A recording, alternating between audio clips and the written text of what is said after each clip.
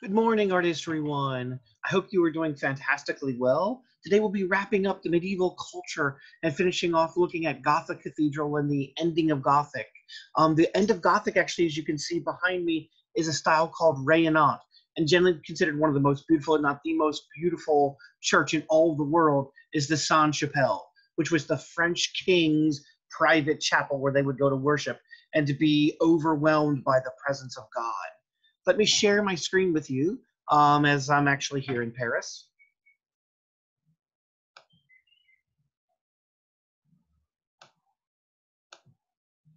All right.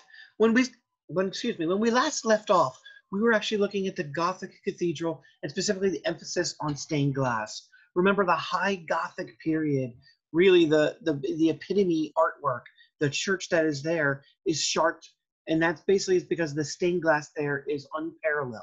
There's more stained glass at Chartres Cathedral than almost anywhere else in the world. And something we hadn't talked about yet with stained glass is just the enormous expense. So you can see here's the lineup of all the different stained glass windows, which re- replaced the historiated capitals, which used to tell the stories of the Bible in the Romanesque period. Remember those capitals that were very weird and, and dark, and you could barely see them at the very top. Very beautiful sculptures for medieval, but nothing like we had seen in ancient Greece and ancient Rome. All that technology was lost. We're just coming out of the Dark Ages now as we're moving into the, the um, Romanesque and then later on to the Gothic period. Look at how beautiful we can actually tell the story now of the Last Supper. We can see the individuals sitting around the table, Jesus um, enthroned right in the middle. The crucifixion, again, that, that imitation of spear bearer with the six pack abs, the um, very calm pose, the contrapposto turn, which we know crucifixion looked nothing like that. It was an arduous, torturous process. The resurrection, where the light actually kind of lights up and makes Jesus look beautiful and almost floating above everyone else. And then the heavy body of the deposition um, right beneath me, right here. And so these would be large scale. Now, these are ridiculously expensive to create. And so that um, it's often in most churches, the stained glass costs as much as the entire rest of the church. And so generally what you'll do is you'll have you'll find a sponsor that will actually sponsor each stained glass window. That's how expensive they are. So imagine today, you know, the resurrection brought to you by Walmart, the Last Supper brought to you by the Bill and Melinda Gates Foundation, the crucifixion brought to you by the Donald Trump Foundation, the deposition brought to you by Target. And this is actually how they were sponsored.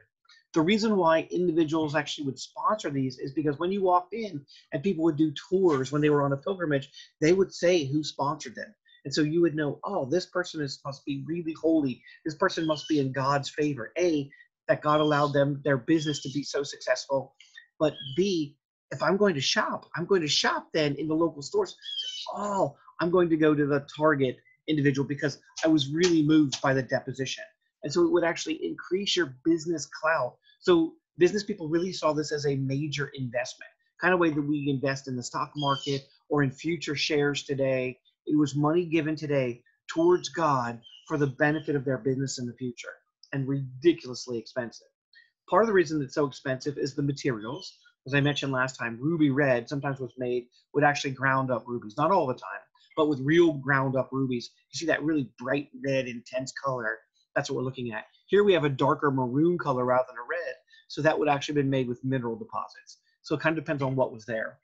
The other thing that made it so expensive, there's very few people in the world that know how to mix this particular, because basically stained glass is heated sand that's mixed with a, a binding pigment agent that actually allows light to flow in and, and make beautiful, beautiful effects. This ethereal, almost heaven-like presence. Remember, the Gothic Church is supposed to be heaven here on earth. Now, if you remember from last time, well, let's do a quick review let's make sure we know all of the Gothic features as we're moving forward, as we're well into the Gothic now, the High Gothic period. The Gothic features, remember, they all developed in the Romanesque period, but they're unified by Abbot Suger and Saint Denis, and all have a different Christian message.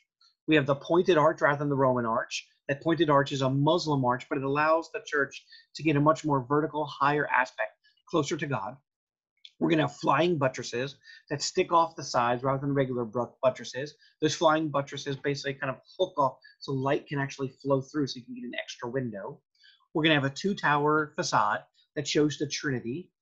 We're going to have the vertical emphasis getting closer to God and the impact of, you know, dirty or just white light on the outside that somehow gets transformed and made beautiful and made holy, heavenly when it actually comes through the stained glass. You get these blue, beautiful blues and greens. Note behind me, you see these lovely blues and greens. You don't see it from the other way out. You, you know, you, they basically appear like brown or dark brown windows until you're on the inside. Why? The outside is supposed to be this world. The gargoyles are there to scare you in all their different capacities. Please come inside. You come inside, you wash yourself, you purify yourself. Then you see the beautiful stained glass showing you, hey, you've arrived in heaven. Now, this is the video I showed you from last time, but just a, rem a reminder as we're looking through, I want to show you just a little bit more about how that light moves. It really is a spectacular achievement. Particularly as the windows get larger like behind me in the Renaissance style. I mean, that's just absolutely stunning. That's all natural light. It's just a, an elapsed video over time.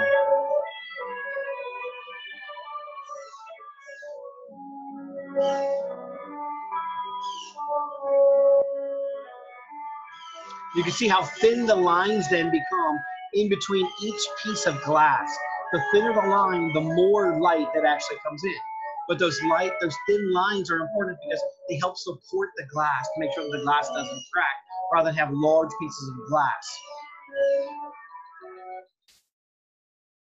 Now, at Chartres Cathedral, that elevation, that elevation of the high Gothic to its most beautiful, one of the other things that happens is um, Chartres Cathedral is a Notre Dame cathedral.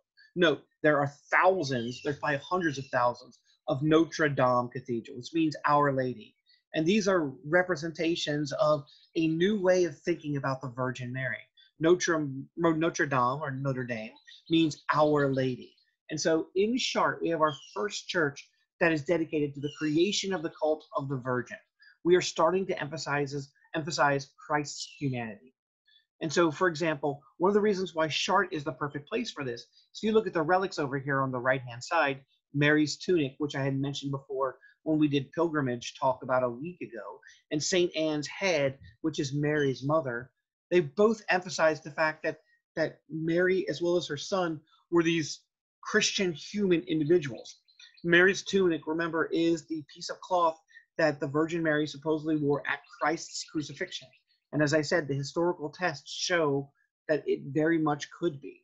So we have at the very top, it dates from the exact right time, 30 um, circa CE, which is, we, we think that Christ was born somewhere around, or was crucified somewhere around 32. So that's right in a time frame. The cotton is from the exact right place in Israel. There is a male blood stain that we cannot, cannot identify. It's been saved three times from fire, often during miraculous beams or things falling over to protect it. And it was actually a gift from Charlemagne himself. And so it has been in use and thought of as Mary's tunic for well over 1200 years at this point. And so that's one of the things that shows up. We have the creation of the cult of the Virgin, where we start emphasizing Christianity. And this is literally going to lead to an explosion of this type of thought during the Renaissance. So we're getting closer and closer and inching to the rebirth of the entire classical world the Greco-Roman world in the Renaissance. Today, if you were to go to one of these churches, a number of these churches do these beautiful shows on the outside, and they basically are trying to imitate what you would see if you were going on the inside. They basically are using God's love and beauty to try to attract you to the inside of the church. Remember, during the, the Gothic period, the point was to scare you. You knew what the inside of the church looked. It looks like this, and it looks like this. It's spectacular. It's gorgeous. And on the outside, you have those gargoyles that are waiting with those horrid faces saying, Get inside. This looked like hell. And so they very much are trying to kind of play off with that aspect. Other places have used this also as a marketing strategy. If you haven't been to Walt Disney World recently, here is their new stained glass effect inspired show at night. You see, just like we saw with Chartres Cathedral, with the beautiful light, they're going to use the castle, which, let's face it, is based upon um, a, a, castle that has some Christian connotations in, in Germany. You can see how they're going to play. We're going to fast forward a little bit just to show you the different effects. Very much the same the same way you have that time lapse video and that's why I introduced that time lapse video game in stained glass. And they keep throwing in different pictures. They tie it to different songs.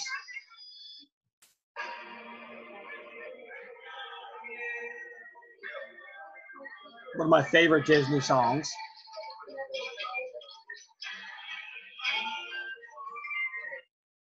As you can see, it's about a 15 minute show where they're going to use it to show good, to show bad, to run through the whole human gamut of kind of their emotional outpouring and their stories. And that's what we have at the very end. It ends with the magic, and then the fireworks display start right after. But they're using the exact same thing that we saw earlier in the stained glass with this idea of trying to overwhelm you and get you to believe that you are in a magical place. In the Gothic Cathedral, it's heaven. In Disney, it's the happiest place on earth. And so they claim. So one of the questions that comes up as a cultural consultant, remember we ran this activity a couple times, but most recently I think in ancient Egypt, where we looked at the Katy Perry video, and it's how well does Disney do in creating a cartoon version of Notre Dame Cathedral? On the very top line are the actual images from Notre Dame Cathedral, and on the bottom are Disney's creation of it. So very much you can see the Gothic features that show up remarkably well in the exterior, the rose window and the, the size and scale of the rose window. To show you a semblance in real life, this is 55 feet around. So it is remarkably huge. And each one of these are about 55 feet tall. Those are those windows way up there. So the question for all of you to consider is how well does Disney do in creating a cartoon version of Notre Dame Cathedral? And as we move on, we've got to you look at the last style of Gothic. The last style of Gothic is really Rayonnant. this is the Sainte Chapelle. This is what I am actually right in front of and underneath today. And basically what it is, it's a cage of glass. That's actually its nickname, cage of glass. Note, during this time period, you've got to wonder, how on earth does this chapel stand up? There's basically no wall. Everywhere you turn, as you spin around this place, everywhere, there's just glass that is floating on these tiny little support systems.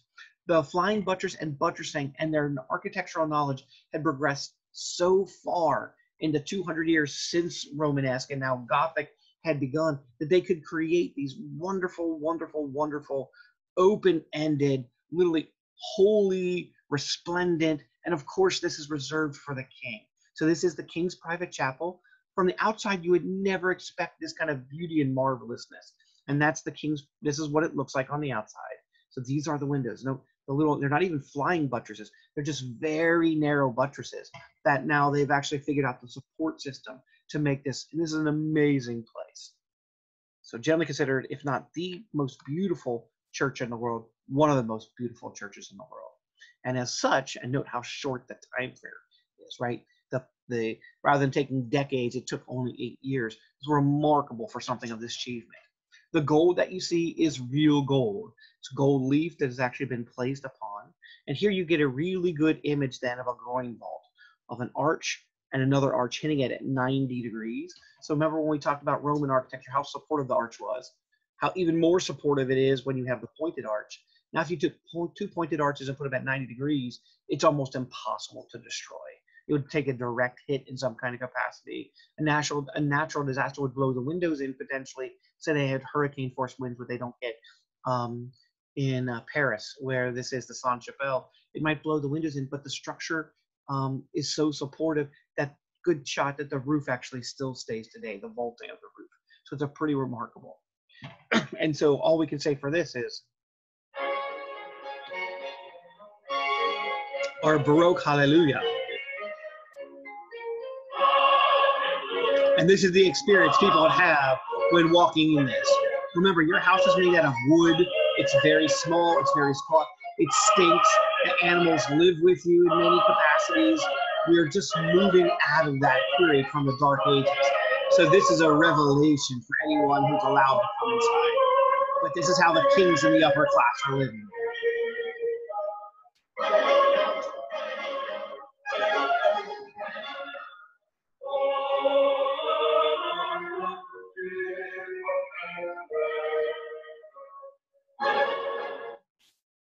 One of the things that I wanted to point out with that music is exactly that.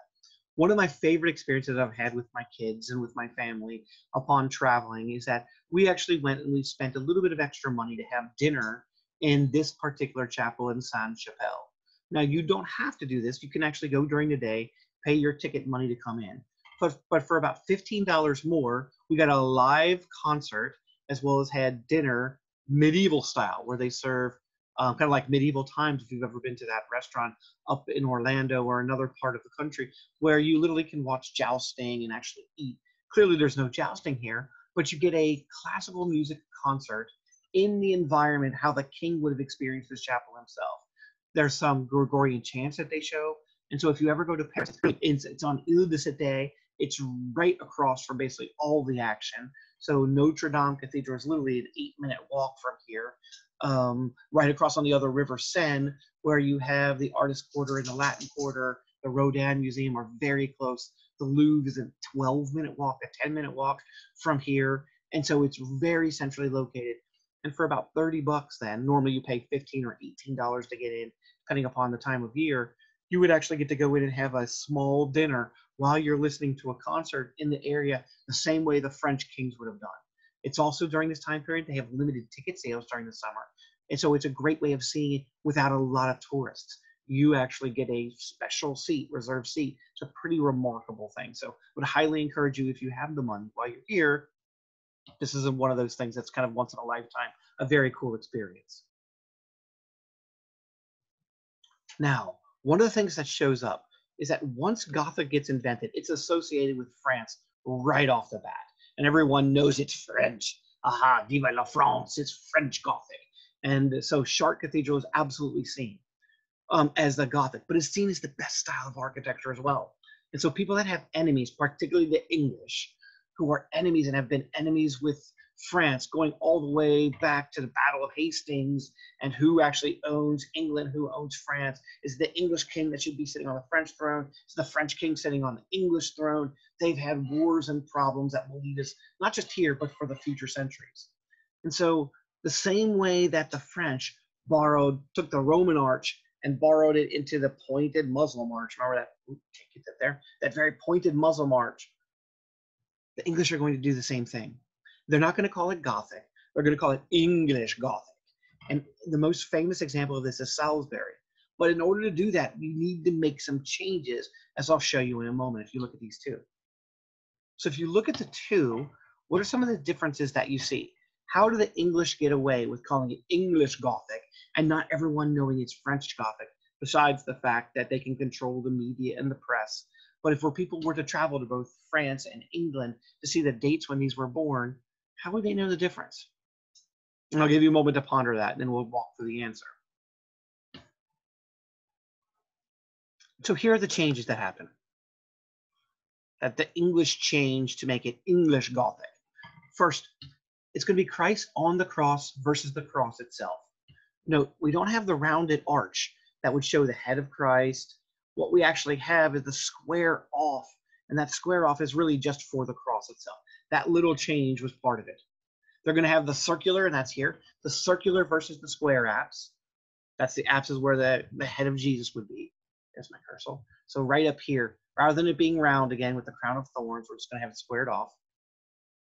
Two towers, they're going to make multiple towers, as you can see. There'll even be multiple towers over the crossing. That's where the transept and the nave interrupt. They're going to put a tower there which of course you never see or almost never see within a Gothic cathedral. That would mean the tower is right here in French Gothic. Some towers, they might have 14 or 15 different towers. Remember, we can't quite make domes yet. We're just getting at least in the idea of Western Europe.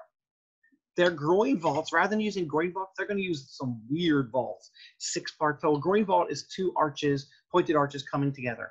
Very beautiful, two arch, two arch. There's another one there. You see one coming there. Note here, looks like a spider web. They're going to have cross hatching and, and moving, and they might have six point vaults and eight point vaults. So the vaulting they're actually going to make much more decorative, and that decoration is actually one of the things. And note also, this is actually in scale. Note French Gothic goes high. The whole idea is vertical, getting closer to God. English Gothic, while going to be tall, well over 100 feet tall, which is unusual for any architecture from the time period, note how wide and horizontal they're going to make the emphasis. Those small changes, basically, that they borrowed from French Gothic, is basically what they're going to call English Gothic.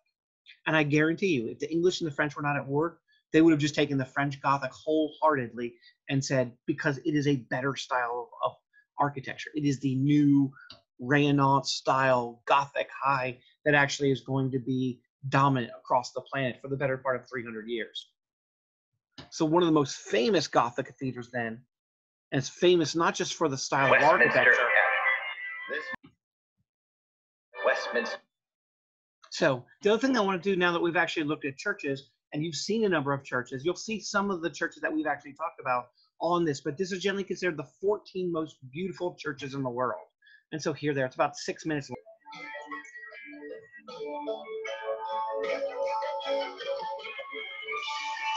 And there's no other church in the world that looks anything like the Gaudi in Seville. Notre Dame, right? The basis of the Hunchback of Notre Dame, the birth of High Gothic architecture, the perfect symmetry. It dominates the skyline.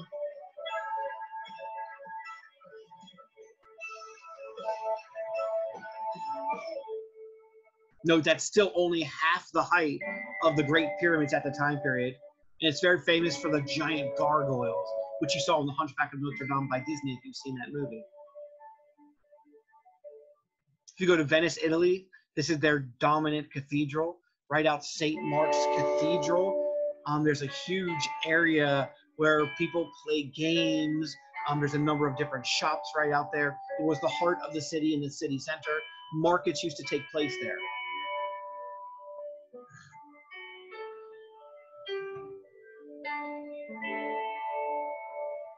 And of course St. Peter's Basilica in Vatican City. This is the residency of the Pope. It's the smallest landmass nation on Earth. It's about five square kilometers. So once you walk on the property, you are no longer in Italy.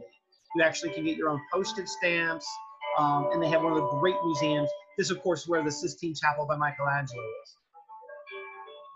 And the dome here was designed by Michelangelo as the largest dome in the world until we developed modern architecture.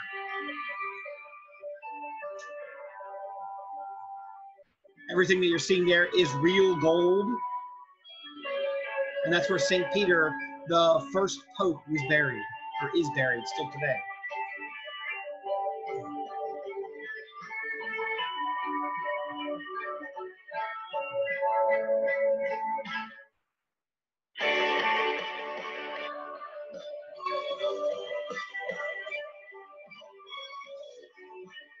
That's Michelangelo's Pietà.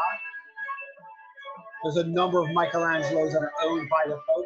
He was the dominant patron for Michelangelo's work.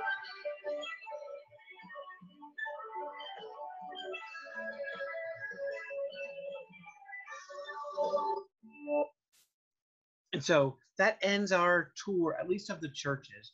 We want to spend a couple of minutes then looking at the artwork itself inside the churches and inside the altars where you would go to pray and how that actually changes over time as well. And so on your on your left over here, the Maesta, which basically means mother and child, the Maesta by an artist named Cimabue, Chim Abue from 1280, versus the Crucifixion by Giotto from the Arena Chapel in 1305. Cimabue is Giotto's teacher. And so this is one of the cases where you actually see the, the student clearly out surprising or and out surpassing the talent of what the master was able to do within the guild system. So basically, this is going to take us, if you look at the Cimabue, it's very Gothic. It's very medieval still in its design. Remember the illuminated manuscripts and how awkward some of the poses of the artwork look. No, Cimabue is much better than the illuminated manuscripts, but it's still very flat. It's still, you know, not emotional. It doesn't really look like human bodies taking a full three-dimensional form. They're almost like place setting. And even the, the posture and the hand gesture that um, the Virgin Mary makes to the Jesus child, who looks like a, a, a little four year old rather than a baby, um, is pretty indicative of what we're looking at during the time period of the Gothic. Then, if you move over to the right, look how the bodies start to take shape. We get a little bit of pudge that actually shows up, more like real body. You're starting to get some emotional reaction. The faces look way more realistic. There's some shading where this is fairly flat. So, and then we have the, the gold leaf put in the background. So look how much more realistic this looks with the drapery folds. And that really is slowly bringing us into the Renaissance, the rebirth of all of these art and all of these skills that we've learned from empiricism, from Aristotle, from Plato, from Polycletus, from from all the Greeks and the Romans before, we're moving into a different direction. Giotto is really the master that basically moves us towards the Renaissance, at least into an artistic style. And as you look at it, the typical medieval features then are going to be things like a belief in God's daily involvement in the arts. They're going to be cartoonish and non-realistic images, which you do see a little bit in both of these still. There's going to be a vertical emphasis. Know how each one draws your attention upward. There's going to be an emphasis on heaven versus hell. We don't see this in either one yet. And finally, these artworks are all meant for an illiterate population, so the salvation comes with the church. Now, you can understand the virgin presenting her child here in Christ in the Maesta. You can understand the crucifixion because you know that story from Christian teaching. But who everyone else is, except outside of Mary, maybe Mary Magdalene weeping at Christ's feet, someone would have to tell you who all these different figures are. And so they could use it as a pedagogical tool. So that would be used to help to, to educate the illiterate population. Now, this is an artwork that changed the world. This particular Giotto that we just saw from, this is called the Arena Chapel, or also known as the Scrovegni Chapel. Scrovegni is spelled up here, S-C-R-O-V-E-G-N-I. It was called Arena because it was built on the site of an ancient Roman arena. They put a church on some of the church conquest, conquest the ancient Romans, but it was owned by the Scrovegni family itself. It's in Padua, about a 30 minute train ride outside of um, Venice. If you ever have the opportunity of going to Venice, I would highly recommend stopping here for a day spot. It is an amazing city to actually look around to see what medieval life and Renaissance life looked like for um, in, in ancient Italy as we're showing up. And so this is called the Scrovegni Chapel. Now, the Scrovegnis made this because their father um, used to lend money to various other individuals because they were wealthy for a fee. Basically, he was a banker back then. But banking was called usury, was considered one of the worst sins. And so he clearly was going to end up in hell. So, as a way of getting him out of hell, his family made this beautiful jewel like little chapel so that God would see it and the Pope would see it and would raise him out of hell and say, Look how healthy, look how happy, look how this money, yes, he got it from usury, but look what great deeds that he did in terms of the service of God. So he created this to get the master Scrovegni out of hell for terrible sin of usury, so basically for money lending. Today we just call that banking and nobody has a problem with it. Hundreds of years ago, this was one of the worst sins you could have. So this is by the Gothic master Giotto. And note, what's interesting is on the inside, and here I'll show you the Rick Steves so you get a really good image of the Scrovegni. And I'm going to pause this for a moment just to give you a, an overview. So this is the first time we actually ever get what's called the Apocrypha. The Apocrypha is a fancy word. I mean, Apocrypha is A-P-O-C-R-Y-P-H-A. A-P-O-C-R-Y-P-H-A, Apocrypha. It basically is all the stories that we want to know or that know about Jesus's life, but also about the Virgin Mary's life and even the Virgin Mary's mother's life. So there's three different series of paintings that wrap around the entire chapel. And each one tells a different sequence. So it's the life of the Virgin, it's the life of the Virgin early Jesus, then it's the ministry of Jesus. And so in those these kind of I think there's 32 different paintings in these 32 different paintings, you get a really good overview of the life of Jesus, which had never been depicted before. So he basically combines all of these. Now, there's not always uh, historical references that show up in writing. And so we cannot necessarily go back and say, all right, this really happened.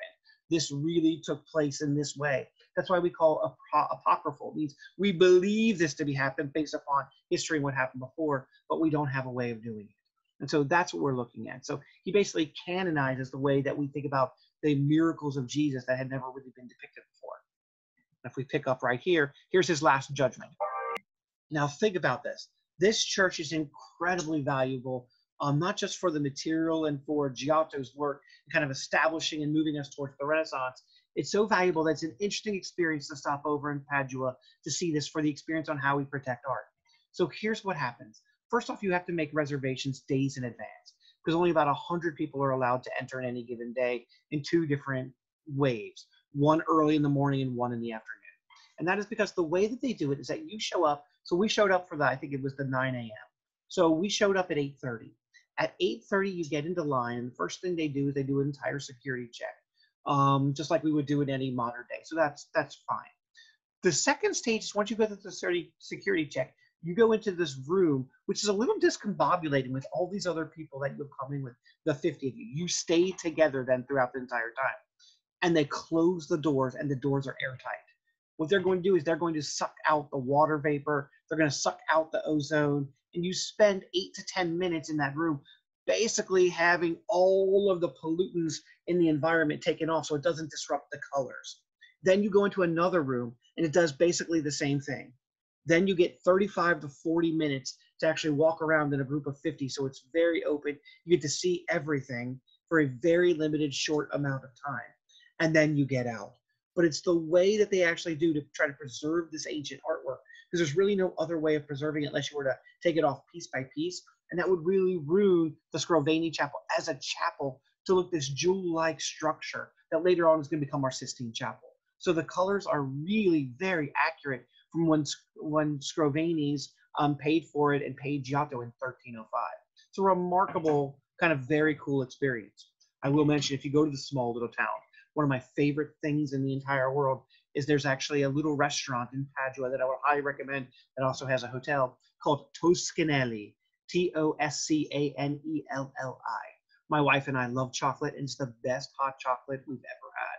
It's this beautiful milk that's actually mixed mixed with high quality um, chocolate. The chocolate bars are actually melted in. It's fantastic. It's almost like drinking liquid chocolate mousse. So you can have that um, right before you go over and see this lovely, lovely jewel. And here's the layout then to show you all the different stories that become the apocryphal, going all the way down from the life of Joachim, um, the life of the Virgin, the life of Jesus, and all the miracles laid out so you can follow it in order. The nativity scene. So on some of the arena chapel on the top, you can see it's a model for Michelangelo's Sistine Chapel. It canonized what's called the apocryphal biblical stories that are not necessarily in the Bible, but are support materials for the Bible. And Giotto is known very much for these 3D physical forms with folding drapery, with some shadows. The nativity scene, as you see on the right, is right out of the Bible. You know, we saw a nativity scene. So this is in the manger, in this open area, three wise men, goats, donkeys, um, asses, um, the angels there crying out on what the miracle that's just befalling us. And here's the crucifixion, the one we saw before. So we compared it with this master Cimabue. The emotion here is just spectacular for anything that we've seen in art, really, since the Expressionist period or the Hellenistic period of ancient Greece. It is just better than anything else. The small little gestures, the Mary Magdalene leaning in and crying at Christ's feet, the individuals exchanging gifts and supporting um, Christ's mother. Note that would have been eye contact that took place as he dies. Just a powerful, moving image for people in the 1300s that had never seen art like this before. It was just the new. And that monster, that monster straight out of Dante, really going from the blue devil of a fallen, beautiful angel to this monster terror figure, is very much a Dante esque image. Note still in the color of blue. So in class, and we won't be able to do this because it's online, but in class, we would do its human body architecture. We would lay this out. I'd show you. So where you, looking for my cursor, let me find my cursor and then I'll get to you. There. So where we would have four of you basically act like these piers. So these would basically be columns. So this is an aerial view. And so you would be a column here. That would be someone's head. That would be someone's head. That would be some, if you reach out your arms and you form a central point, basically what you are forming then is a groin vault. Remember, if you reach this way, you're forming a barrel vault or an arch, and a series of arches in a row is a barrel vault. So, or an arcade. Actually, it can be either one. So when we look at the three-dimensional, it's actually um, the idea of a kind of looks like this. So that would be a barrel vault. So when you look across, we have four of them. That will form a groin vault. And what we learned is that by we could actually hang someone off of this, really let them dangle from the four of you because each of you only holds up one fourth of the weight. So we actually have created a very stable form. Buttressing then, note these push on one another, these lines right here. That buttress pushes on it. So that's just going to be another arch. So here we have, remember, the nave, the aisles on the outside, the transept, which is the cross of Christ, the apse, which is the head, the radiating chapels, once again, which are going to be um, the, the true cross, and the choir area right here up north of the transept, which is going to be where the lectures or where the pulpit is for the minister or for the priest. So we basically have human body architecture. As we look at this, and some of these are unknown, some of them are known, is I want you just to consider how religious theology, particularly in the medieval world, impacts this unknown Gothic cathedral. Now, you should be able to walk into a Gothic cathedral, and for most parts, you don't need me. You actually know the features of Gothic. The features of Gothic are how many towers? What's the emphasis in terms of height? What do they do with light? And why is that important? Why do we need flying buttresses? And what's the significance of flying buttresses? And so when you put all of those things together, you get a Gothic cathedral. And so you can explain what is the religious significance behind it. Again, please remember that the Gothic cathedral were the center of the home, the center of the city. You can see that they still dominate the skyline today, no matter whether you're in Rome, Amiens, Florence, Siena, Jerusalem, Medina. Um, the Medina image is interesting because it's actually not a church, but actually is the mosque. That's the prophet's mosque that shows up here. But note, still dominates the city, largely an idea that comes out of some of the Gothic cathedrals as well, these large scale shapes. And so what? Why study Gothic cathedrals? And that's why I have Medina beneath you. It's a standard for Christian architecture still today. In the US, 72% of people would rather worship in a Gothic cathedral than anywhere else. It's the one time in human history, at least so far, when technology, engineering, and philosophy all merge to create the unimaginable, create heaven. It's the best example to show how humankind's relationship with God can be altered through art. You literally can change the way that you feel like you're walking into heaven on earth. And in a modern world with the rise of Islam and mosque architecture, seen down here in Medina, this area right here, the Prophet's Mosque, is important to understand how religion, philosophy, and art merge. Why do we try to avoid attacking people in mosques? Like if we go to war with someone, we generally don't attack mosques the same way that in general churches are not attacked. It's what the mosque or the church stands for as much as any civilian casualties that might be inside of. Right? These are generally religious, holy individuals where God and humanity come together for the best of both, or where Allah and the community come to, together for the best of both in a mosque. And so there is a real symbiotic kind of relationship on why these buildings are so important and still functional. I mean, think about this. These are buildings that are some of them 800, 900, 1,000 years old, and they still stand and function today. You think any of the buildings that we make right now are going to be still functional in a thousand years? Even in New York City, when you look at kind of large scale Empire State Building, which is already dated and from 1932, it's been retrofitted a couple times. Chances are it's not going to be there functioning a thousand years later, right? In 20 or 30, 20. Just chances are against us. Doesn't happen all that often. The last thing that I want to throw at you for today and again, this goes into your video for the week, is this. If you've never heard of this, this is called Bloom's taxonomy. And basically, it actually asks you different ways that we organize information and knowledge. So the very basic piece of information that we need people to have is recognizing and recalling facts. That's remember, right? That on some level can form a cultural heritage that hopefully all of you remember that our founding in the signing of the Declaration of Independence, freeing us from what country? In what year. That gives us kind of a national pride that shows up. The next is understanding what those facts mean. Why was that important? Why did we revolt? The next thing uh, from Britain in 1776, if you don't remember. Then we want to apply the facts, rules, concepts, and ideas in a new way. We want to break down the information into component parts and judging the value of information or ideas. Now note how the, the chart gets smaller and smaller because we want everyone to be able to do all of them but the ones at the top to create, to evaluate, to analyze that are in the orange, yellow, and green are much more difficult. They're higher order brain functioning.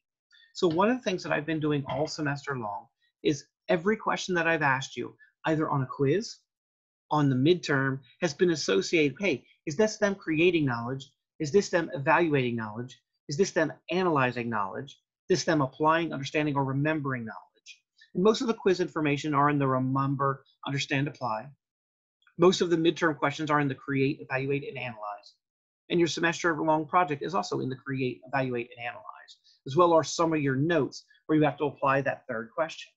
So all semester, as I've been applying grades, I've been monitoring your Bloom's taxonomy. So at the end of the semester, I can tell you where you stand, how well you are able to remember information, how well you're able to understand, apply, analyze, evaluate, and create. So if you go to the end of your grade book, you'll note there are a bunch of different columns that are Bloom's taxonomy, and four of them I think I've matched out, create, evaluate, analyze, and understand. Um, and so all of those things have actually been marked out. The number that is there will tell you the percentage. When we when I've mapped previous students and also look at national averages, that's the percent of how well you've done. If you're in the 90%, let's say for create, congratulations. You're at the very top of individuals that combine different parts to make an entire new whole. I said from the very get-go, art is one of the most difficult subject matters, academic areas to study. And that is because to truly understand art, You've got to be able to analyze, evaluate, and create at the top of the pyramid because you have to take religion, science, economics, aesthetics, um, philosophy, um, different art aesthetics and manipulation, a little bit of psychology. You need to co uh, combine them together to get a holistic way, the way the art works and manipulates people into the world. And so that will give you a stat of where you are doing. Do not, it's not evaluative in terms of the grade at all, just something that I like to see kind of where our students go and How far, because I can look at over time, how far have you come within my one class to help you guide if you're giving instruction without even knowing it? How do you start to develop the creation, the evaluation, the analysis? And so it does give you an overview at the end of the term, specifically where you stand versus people that are coming out with very similar backgrounds from you. So if you're in the upper ranges, congratulations. If you're in the lower ranges, don't worry about it. Just means remember your brain is not fully formed till you're 25 so one of two things. You either have not developed that skill because of one, when those more difficult questions come up, you kind of just rely on remembering and applying information rather than trying to create your own information. That's something we need you to do in the future, um, and particularly as you get into the job market. People want, if you note, and if you look at any job skills that are out there, do a Google search on jobs on any skills that you want. They're not going to be about remembering. Hey, can they remember you know, what I told them to do? Can they remember? No one wants that as a job skill.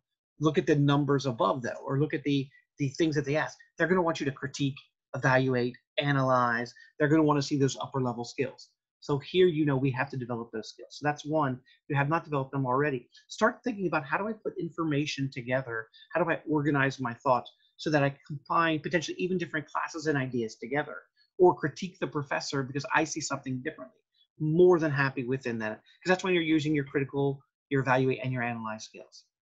The other one, um, the other one is that you haven't kind of developed it because you just haven't been given the opportunity yet. And when you are given the opportunity, then take those seriously. Once you develop those skills, generally the research shows that you don't lose them. You just apply them in new formats. So they are applicable once you develop in art. They're applicable once you go for a job. They're applicable um, even in your own home life when you're trying to evaluate and critique is the house worth buying it versus oh i remember it's $210000 i only have 140 what's the quality of life? How do you critically evaluate and analyze all of those things? And that's what we're looking at with bloom's taxonomy. And so how does the concept of death and afterlife change over our earliest art history? Remember we saw everything. We even did this thing right around midterm. Now we just have to add in the christian faith. The big Christian faith basically taking the idea of Egypt and extending that with a monotheistic God. So that's something you should be able to do for your final exam. I'll let you do that on your own. And that will end us in terms of kind of Gothic cathedrals and Gothic art. If you have any questions, please let me know. Have a wonderful day. Bye.